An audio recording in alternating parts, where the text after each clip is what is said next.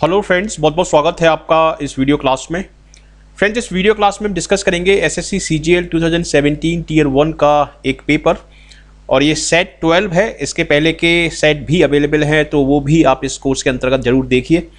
और इससे आपको एक आइडिया होगा कि किस तरह के question particularly tier one exam में आपसे पूछे जाएँगे एसएससी एग्ज़ाम में। तो ये सेट 12 है और ये पेपर हुआ था 9 आठ 2017 को आफ्टरनून शिफ्ट में। यहाँ पर आप पूरा डिटेल देख सकते हैं और इस क्वेश्चन को हम करेंगे। तो चलिए डिस्कस करते हैं। देखिए, ये स्पॉटिंग का एक क्वेश्चन है in spite of the doctor's stern warning in spite of का अर्थ होता है इस चीज़ के बावजूद। ठीक है, ऐसा करने के बावजूद।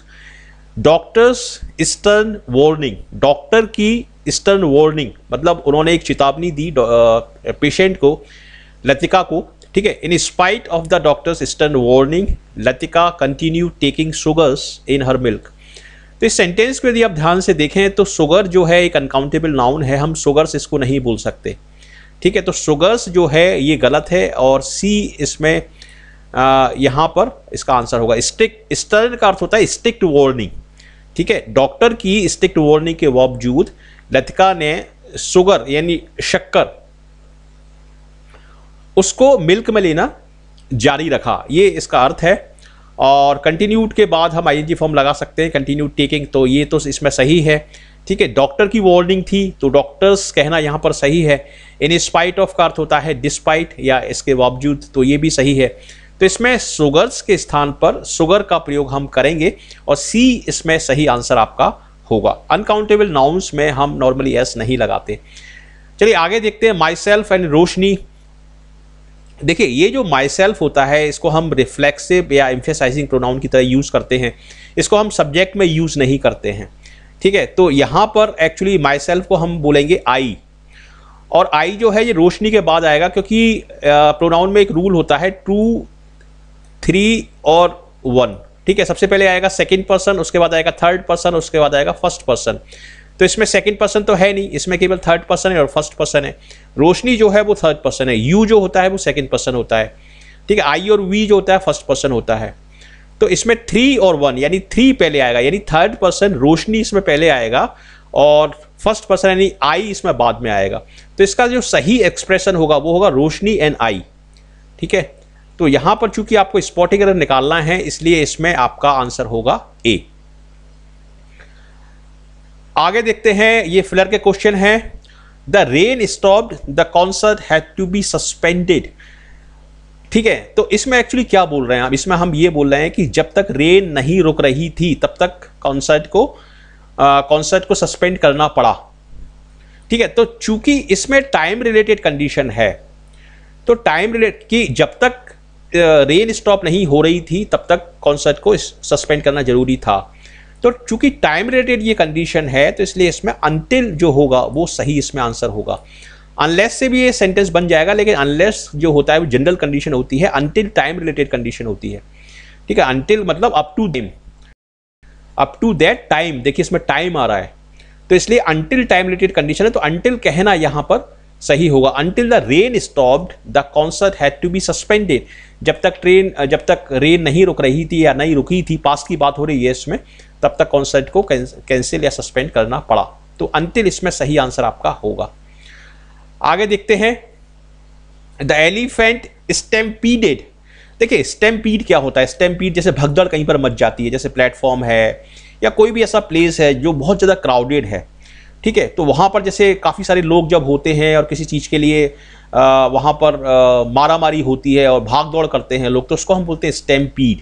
ठीक है? तो elephant, stampeded and tore the street. तो यहाँ पर देखिए, जब एलिफेंट स्टैम्पीड करेगा, भागा दौड़, भागा दौड़ी करेगा वहाँ पर, ठीक है? तो उससे क्या होगा? उससे डैमेज होगा, स्ट्रीट का डैमेज होगा। टोर ऑफ़ का मतलब होता है फाड़ना, किसी चीज़ को, कागज़ को फाड़ना, कपड़े को फाड़ना, उसको हम बोलते हैं टोर ऑफ़। तो डैमेज के लिए हम बोलते हैं टीयर डाउन या टोर डाउन तो टोर डाउन यहाँ पर आपका सही आंसर होगा। फोर यानी डी यहाँ पर सही आंसर आपका होगा। ये सिनोनिम है स्कटल स्कटल एक्चुअली एक कंटेनर होता है और जिसमें कोल्स वगैरह, जो कोयला होता है, उसको रखा जाता है। इसमें हैंडल लगा रहता है, उसको हम बोलते हैं स्कटल और ब्रेजियर भी कंटेनर ही होता है। तो ब्रेजियर यहाँ पर सही आंसर होगा। सॉलिटरी मतलब अकेला सुपरफिशियल मतलब ऊपर से सूदिंग मतलब शांत करने वाला। तो ब्रेजियर जो होगा, इसमें सही आंसर आपका होगा। स्कटल के बाद है लोकेशस लोकेशस ये तो बहुत सिंपल वर्ड है, काफ़ी बार एग्ज़ाम में पूछा गया है। लोकेशस का अर्थ होता है टॉकेटिव जो बहुत ज़्यादा बातूनी और बात करने वाला होता है, उसको हम बोलते हैं टॉकेटिव फूलिशनेस मतलब मूर्खता ग्रेसफुल मतलब अच्छा अट्रैक्टिव एंटरटेनर मतलब मनोरंजन करने वाला तो टॉकेटिव यहाँ पर आपका सही आंसर होगा लोकेशस का। अब चलते हैं आगे। ये हैं antonyms obfuscate obfuscate को आप याद कर सकते हैं ऑब्सक्यूर से। ऑब्सक्यूर का मतलब होता है अनक्लियर ठीक है? तो अनक्लियर का एंटोनिम क्या होगा? क्लैरिफाई हेज कोहरा होता है फॉग या कोहरा पजल यानी परप्लेक्स इन्वलप किसी चीज़ को ढकना। तो क्लैरिफाई ऑफ़ फस्केट का क्लैरिफाई जो होगा, ये इसका सही एंटोनिम होगा। ट्रायम्फ ट्रायम्फ का मतलब जीत की खुशी जो होती है, उसको हम बोलते हैं ट्रायम्फ तो इसका जो सही एंटोनिम होगा, दुख, यानी सौरो ठीक है? डिसडेन यानी नफरत एलिएशन मतलब बहुत ज़्यादा खुशी। इस्टेब्लिश मतलब किसी चीज़ को स्थापित करना तो सौरो जो होगा, वो यहाँ पर इसका सही एंटोनिम होगा। आगे देखते हैं इडियम और फ्रेजेस हैं चिकन हार्टेड ये बहुत सिंपल इडियम है चिकन हार्टेड मतलब जिसका हार्ट एक चिकन की तरह हो। और चिकन चिकन को हम मानते हैं एक बहुत ही डरपोक सा एक एनिमल ठीक है? चिकन को चिकन की तुलना हम शेर से नहीं कर, कर सकते। शेर को हम मानते हैं एक बहादुर एनिमल चिकन को हम मान, मानते हैं डरपोक डरपोक वर्ड या एनिमल ठीक है? तो कॉवर्ड यहाँ पर कहना इसका सही होगा। चिकन हार्टेड मतलब कॉवर्ड या डरपोक। शॉर्ट टेम्पर्ड जिसको जल्दी गुस्सा आता है शॉर्ट टेम्पर कंपोज मतलब शांत बोल्ड मतलब बहादुर। तो चिकन हार्टेड का होगा कॉवर्ड रेड लेटर डे बहुत इंपॉर्टेंट डे होता है रेड लेटर डे यानी सिग्निफिकेंट डे ठीक है, ये इसका आंसर हो जाएगा रेड लेटर डे ये रियल क्वेश्चंस हैं प्री के 9 आठ 2017 को ये पेपर हुआ है। तो मोस्ट रीसेंट पैटर्न आपको देखने को मिल रहा है। और सेम इसी तरीके के क्वेश्चन आपको 2018 का जो सीजीएल होगा, उसमें आपको देखने को मिलेंगे। सेंटेंस इंप्रूवमेंट का एक क्वेश्चन है और जो पार्ट ब्रैकेट में दिया है, इसको आपको इंप्रूव करना है।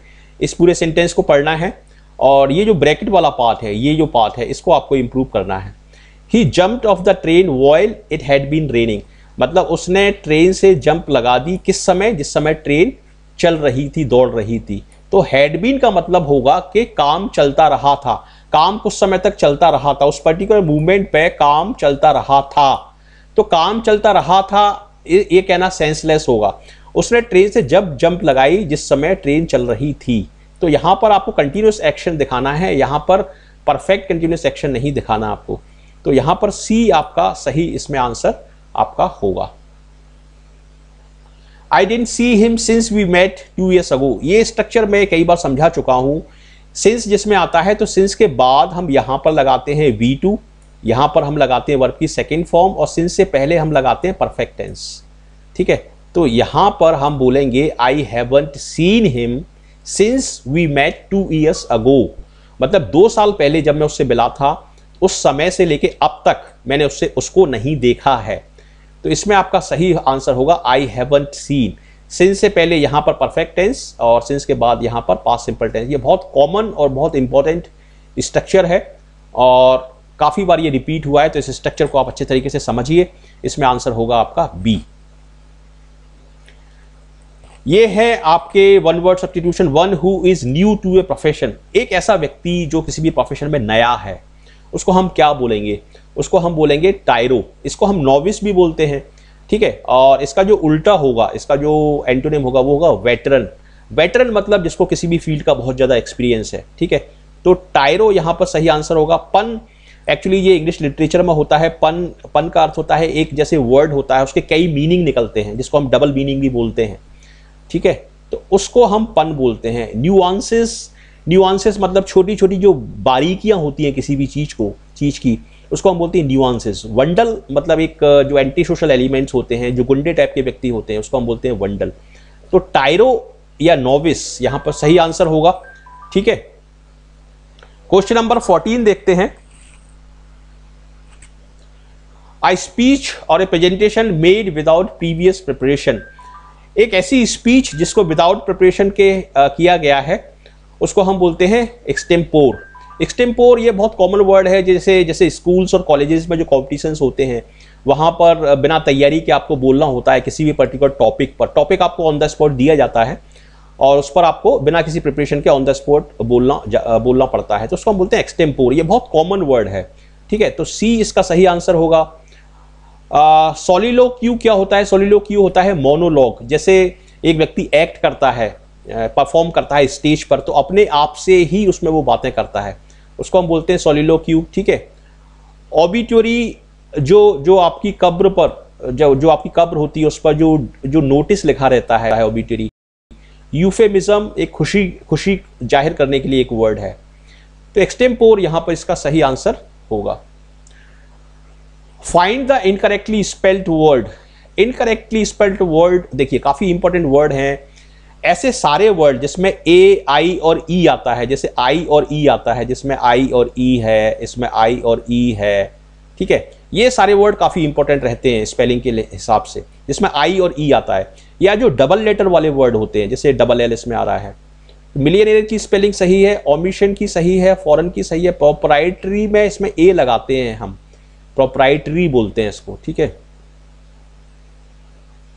तो इसमें आपका आंसर होगा डी प्रोप्राइटरी ओनरशिप होता है proprietary find the incorrectly spelled word इसमें हम देखते हैं एक्सेंचुएट यानी इम्फेसाइज करना ये सही है। एब एब नॉर्मेलिटी ये सही है। अपीजमेंट यानी शांत करना ये सही है। A C Q U A I A I N T A N C E होता है, ठीक है? तो एक्वेंटेंस गलत है यहाँ पर तो ए इसमें आपका आंसर होगा। यहाँ पर ये एक पैराजंबल का क्वेश्चन है और पैराजंबल के क्वेश्चन में इसमें फ़र्स्ट दिया है और सिक्स दिया है। फ़र्स्ट और सिक्स इसमें दिया है, बाकी को आपको अरेंज करना है। Rani Padma, Rani Padmini was a Rajput queen ठीक है? अब यहाँ पर अलाउ अलाउद्दीन खिलजी खिलजी खिलजी। देखिए, यहाँ पर पहले अलाउद्दीन खिलजी दिया है, उसके बाद खिलजी दिया है, उसके बाद खिलजी दिया है। तो खिलजी तो कई सारे हो सकते हैं। यानी खिलजी एक कॉमन नाउन की तरह भी यूज़ हो सकता है। खिलजी एक कॉमन नाउन की तरह भी यूज़ हो सकता है। तो किसी भी पैराग्राफ में हम प्रॉपर नाउन को पहले लेते हैं कॉमन नाउन को बाद में लेते हैं। तो अलाउद्दीन खिलजी यहाँ पर प्रॉपर नाउन है, खिलजी यहाँ पर कॉमन नाउन है। तो खिलजी और ये खिलजी, इनको हम बाद में लेंगे, पहले हम अलाउद्दीन खिलजी को लेंगे। Rani Padmini was a Rajput queen Alauddin Khilji invaded India and reach the gates of Chittor the capital city of the Rajput Alauddin Khilji ने इंडिया पर आक्रमण किया इन्वेड किया और reach the gates of Chittor Chittor के gates पर पहुँच गया, जो कि राजपूत की कैपिटल सिटी थी। ठीक है तो यहाँ पर यह सेंटेंस बोलना सही होगा, क्योंकि यहाँ पर हम इंट्रोड्यूस कर रहे हैं। अलाउद्दीन खिलजी के जो अटैक्स हैं, उसको इंट्रोड्यूस कर रहे हैं और यहाँ पर अलाउद्दीन खिलजी प्रॉपर नाउन है, इसलिए इसको हम पहले लेंगे। इसको कॉमन नाउन को हम पहले नहीं ले सकते। ठीक है? तो ये एक बेसिक रूल है और एक बेसिक रूल ये भी है कि नाउन को हम पहले लेते हैं प्रोनाउन को हम बाद में लेते हैं। कोई भी कोई भी पैराग्राफ बट से शुरू नहीं हो सकता, क्योंकि बट एक कंजक्शन है। तो ये कुछ बेसिक पैरामीटर्स हैं, ये ये कुछ बेसिक गाइडलाइंस हैं। तो अलाउद्दीन खिलजी को हम पहले ले लेंगे। Alauddin Khilji invaded India and reach the gates of Chittor the capital city of Rajput उसके बाद हम क्या बोल सकते हैं? उसके बाद हम, उसने इन्वेड क्यों किया? ये हमें बोलना पड़ेगा तो बट तो नहीं लगेगा। ठीक है? देखिए, खिलजी अटैक्ड चित्तौड़ अगेन इसके पहले एक सेंटेंस चाहिए, यानी ये सेंटेंस नहीं आएगा। ये सेंटेंस बाद में आएगा, इससे पहले एक सेंटेंस चाहिए। बट वाला जो पार्ट है ये यहाँ पर नहीं आएगा क्योंकि बट कंजक्शन होता है, यहाँ पर आप ये लगा सकते हैं। खिलजी डिजायर्ड देखिए, खिलजी ने अटैक किया, Khil Alauddin Khilji invaded India and reach the gate of Chittor उसने इंडिया पर अटैक किया और चित्तौड़ वो क्यों गया? ठीक है, उसका रीजन बताना पड़ेगा। तो उसका रीजन यहाँ पर बताया गया कि Khilji desire to capture Chittor and its beautiful queen Rani Padmini क्योंकि वो चित्तौड़ को जीतना चाहता था और और रानी पद्मिनी को वो कैप्चर करना चाहता था। तो इसके बाद हम इसको लगा सकते हैं सेकंड को। ठीक है? Khilji desire to capture Chittor and its beautiful queen Rani Padmini इसके बाद हम बोल सकते हैं but the Rajput under Rani Padmini fort like tiger Khilji ने अटैक तो किया चित्तौड़ पर लेकिन उसके जो रानी पद्मिनी के जो टाइ, जो टाइगर्स थे जो जो जो फाइटर्स थे ठीक है उन्होंने अच्छे तरीके से लड़ाई करी। तो यहाँ पर ये हो जाएगा थर्ड ठीक है? और उसके बाद खिलजी ने दोबारा आक्रमण किया। तो ये हो जाएगा फोर। ठीक है तो इस तरीके से इसका कॉम्बिनेशन आपका बन जाएगा। आपका जो कॉम्बिनेशन बनेगा, वो क्या बनेगा? P S Q R P S Q R आपका सही कॉम्बिनेशन इसमें बन जाएगा। तो इस तरीके से ये एक्चुअली लॉजिक का टेस्ट होता है। पैराजंबल एक्चुअली लॉजिक का टेस्ट होता है कि किस एक्शन के बाद कौन सा एक्शन आएगा। और यहाँ पर कुछ बेसिक गाइडलाइंस आपको सीखने की ज़रूरत है कि नाउन पहले आएगा नाउन में भी प्रॉपर नाउन पहले आएगा, ठीक है? उसके बाद फिर प्रोनाउंस आएँगे बट या किसी भी कंजक्शन से सेंटेंस शुरू नहीं होगा बट या कोई भी फ्रेज हो, उससे सेंटेंस शुरू नहीं होगा। नॉर्मली नाउन से शुरू होता है सेंटेंस जैसे इसमें भी सेंटेंस देखिए नाउन से शुरू हो रहा है, रानी पद, पद्मिनी से शुरू हो रहा है। तो ये कुछ बेसिक गाइडलाइन आप याद रखेंगे तो आप आराम से इन सेंटेंसेस को, इन पैराजंबल्स को आप कर सकते हैं। अब यहाँ पर एक दूसरा पैराजंबल है तो इसको हम देखते हैं। देखिए फॉर वन एक फ्रेज है। फ्रेज से सेंटेंस स्टार्ट नहीं होता। फ्रेज से पैराग्राफ स्टार्ट नहीं होता। ठीक है? तो यहाँ से सेंटेंस स्टार्ट नहीं हो सकता, क्योंकि फॉर वन का होता है। फॉर वन का मतलब है कि फर्स्टली जैसे हम बोलते हैं फर्स्टली सेकेंडली थर्डली जैसे हमने कोई स्टेटमेंट बोला और उसके बाद एग्ज़ाम्पल हम देते हैं कि फर्स्टली सेकेंडली थर्डली तो फॉर वन में हम किसी चीज़ का एग्ज़ाम्पल हम यहाँ पर दे रहे हैं, किसी चीज़ का रीज़न बता रहे हैं। तो ये ये एक फ्रेज है, यहाँ से पैराग्राफ स्टार्ट नहीं हो सकता। दिस एक प्रोनाउन है, ठीक है? प्रोनाउन से पैराग्राफ स्टार्ट नहीं हो सकता। ये दिस किस चीज़ के बारे में है, वो नाउन पहले आएगी। तो ये सेंटेंस हमने एलिमिनेट कर दिए कि यहाँ से सेंटेंस शुरू नहीं हो सकता। अब देखिए the trade refers to it यहाँ पर भी एट आ गया एट एक प्रोनाउन है तो यहाँ से सेंटेंस शुरू नहीं हो सकता, ठीक है? तो सेंटेंस स्टार्ट होगा यहाँ से, यानी आर जो बनेगा आपका फ़र्स्ट सेंटेंस बनेगा। अब हम इसको पढ़ते हैं और इसके बाद फिर बाकी के सेंटेंसेस को हम इससे लिंक करेंगे। Despite being the dominant partner in the relationship, the outsourcer doesn't always have all the advantage. देखिए इसमें एक नाउन आई है आउटसोर्सर्स आउटसोर्सर यानी ये एक ये एक सब्जेक्ट है ये एक डूअर है।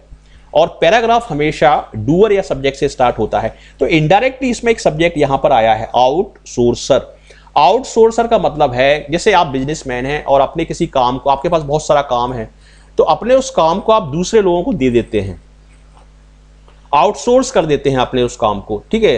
और वो लोग उस काम को आपको करके देते हैं और इससे आपका समय और आ, समय आपका बचता है और आपका आपका जो टेंशन है वो बचता है। तो यहाँ पर आउटसोर्सर की बात हो रही है। Despite being the dominant partner in relationship the outsourcer doesn't always have all the advantage outsourcer को हमेशा सारे एडवांटेज नहीं होते ठीक है? अब इसके बाद यहाँ रीजन बताया है। फॉर वन कि, कि सबसे पहले एक ये रीजन है। For one very few entrepreneurs are willing to take on a new outsource. क्योंकि काफ़ी सारे जो एंटरप्रेनर्स होते हैं वो न्यू आउटसोर्स से जुड़ना नहीं चाहते। ये इसमें बताया है। तो आर के बाद यहाँ पर पी आ जाएगा और पी के बाद ये वाला सेंटेंस नहीं आ सकता। इससे पहले यही सेंटेंस आएगा। क्योंकि यहाँ पर दिस बोला है कि दिस इनवेरिएबली एक्स यानी दिस का मतलब है कि ये प्रोनाउन है और ये प्रोनाउन जो है ये इस चीज़ के लिए आ रहा है। यानी ये हो जाएगा थर्ड और ये हो जाएगा फोर। तो आपका जो P Q R S combination बनेगा, वो क्या बनेगा? R P S Q R P S Q आपका कॉम्बिनेशन बनेगा। ठीक है तो इसमें आंसर होगा आपका डी तो इस तरीके से इन क्वेश्चंस को आपको करना होता है पी क्यू आर एस के क्वेश्चंस को। ये पूरी तरीके से एक लॉजिक का टेस्ट है और लॉजिकली आपको अप्लाई करना आता है सारी चीज़ों को। तो अच्छे तरीके से इन क्वेश्चंस को आप 100 परसेंट एक्यूरेसी के साथ कर सकते हैं। उसके बाद एक ये सेक्शन रहता है सीजीएल एग्ज़ाम में एक्टिव वॉइस और पैसिव वॉइस का या नरेशन का। इनमें भी आप 100 परसेंट स्कोर कर सकते हैं। ये कुछ भी इसमें डिफ़िकल्ट नहीं है। देखिए, यहाँ से देखिए, यदि सेंटेंस एक्टिव वॉइस में है तो आपको पैसिव वॉइस में चेंज करना है पैसिव वॉइस में है तो एक्टिव वॉइस में चेंज करना है। ठीक है तो सबसे पहले आपको यह निश्चय करना है कि सेंटेंस किस वॉइस में दिया हुआ है। एक्टिव वॉइस में दिया है या पैसिव वॉइस में दिया है? ठीक है अब देखिए, somebody टोल्ड मी somebody, यानी ये सब्जेक्ट है, ये वर्ब है, ये ऑब्जेक्ट है। तो ये किस किसमें हुआ ये? ये ये जो पार्ट हुआ, ये एक्टिव वॉइस में हुआ। Somebody told me that there had been a robbery in the jewellery exhibition किसी ने मुझे बताया कि ज्वेलरी की दुकान में ज्वेलरी एग्जीबिशन में रोबरी हो गई थी, डकैती हो गई थी। Somebody टोल्ड मी तो इसका पैसिव वॉइस क्या होगा? Somebody टोल्ड मी का, ये सब्जेक्ट है, ये ये ये आपका ये आपका वर्ब है, ये आपका ऑब्जेक्ट है। तो संबडी टोल्ड मी का हो जाएगा I was told by somebody somebody told me का हो जाएगा I was told by somebody अब देखिए I was told by somebody इसमें केवल एक ही सेंटेंस में दिया है I was told by somebody तो आपका ये सेंटेंस जो होगा, ये सही होगा। ठीक है, आपको ज़्यादा इसमें इसमें सिंपल से रूल्स रहते हैं और सिंपल लॉजिक आपको अप्लाई करना होता है। और इस तरह के सेंटेंसेस में हंड्रेड परसेंट एक्यूरेसी के साथ इस तरह के सेंटेंसेस को आप कर सकते हैं। ठीक है I was told by somebody एक ही सेंटेंस में दिया है तो इसलिए फ़र्स्ट जो बी सेंटेंस है वो इसमें सही होगा। अब देखिए, ये नरेशन का क्वेश्चन है। नरेशन के क्वेश्चन में देखिए, ये डब्ल्यू एच वर्ड दिया है तो डब्ल्यू एच से ही स्टार्ट होगा। चूँकि ये पास्ट में है, यहाँ पर ये जो वर्ब है, जिसको हम बोलते हैं रिपोर्टिंग वर्ब ये पास्ट में है। रोहन सैड रोहन सेज नहीं है ये, रोहन सैड है। यानी पास्ट टेंस है ये। तो ये वाला जो पार्ट है, इस पार्ट को आपको पास्ट टेंस में चेंज करना पड़ेगा। ठीक है, अब अगर आपको रूल्स इसके पता है सिंपल से रूल तो नेक्स्ट मंथ को हम क्या कर देते हैं? फॉलोइंग मंथ कर देते हैं। नेक्स्ट मंथ को हम फॉलोइंग मंथ कर देते हैं। और फॉलोइंग मंथ इसमें केवल दो में दिया है। यानी ये दो आपने तुरंत एलिमिनेट कर दिए। अब आपका जो आंसर होगा, या तो ये होगा, या ये होगा। क्योंकि फॉलोइंग मंथ केवल इसमें दिया है और इसमें दिया है। अब यहाँ पर देख लीजिए, यहाँ पर यहाँ पर एक्चुअली वो आश्चर्य कर रहा है कि Rohan said where shall I be this time next month अगले महीने मैं इस इस इस टाइम पर कहाँ पर होऊँगा, वो आश्चर्य कर रहा है।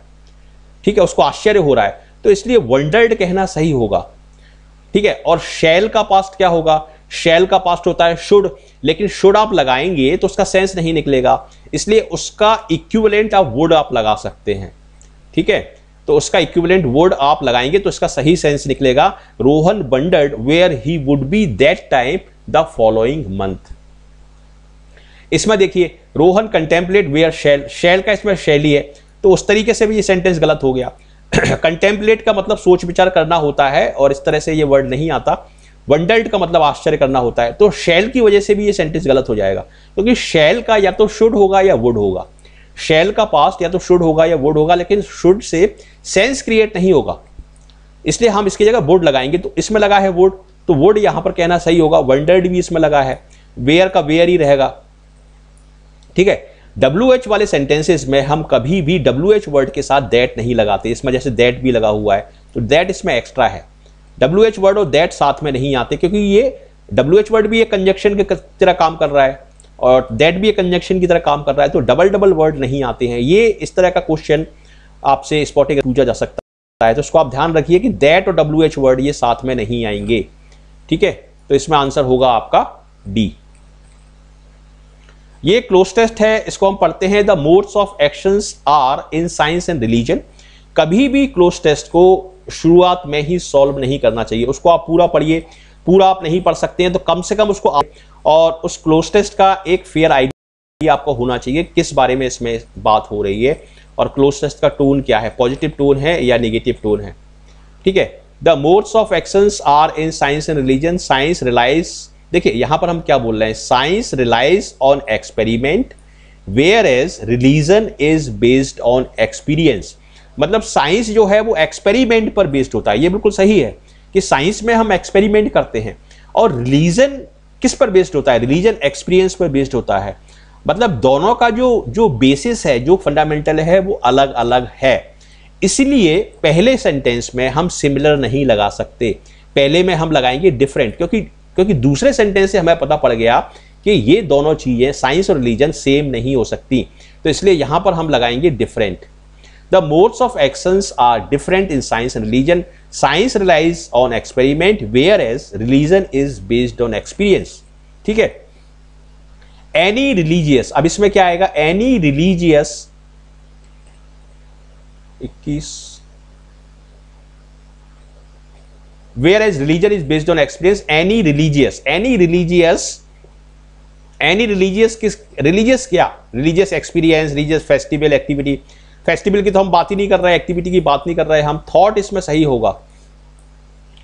Any religious thought whether it is Christ और राम कृष्ण कोई भी रिलीजियस थॉट हो, चाहे वो चाहे वो जीसस क्राइस्ट का थॉट हो या रामकृष्ण परमहंस का थॉट हो इस पर्सनल, कोई भी रिलीजियस रिलीजियस जो थॉट है, वो पर्सनल है, और ये बात सही भी है कि जो रिलीजियस जो थिंकिंग होती है, वो लोगों की एक एक सब्जेक्टिव और पर्सनल थिंकिंग होती है। कोई किसी व्यक्ति को मानता है, कोई किसी व्यक्ति को मानता है।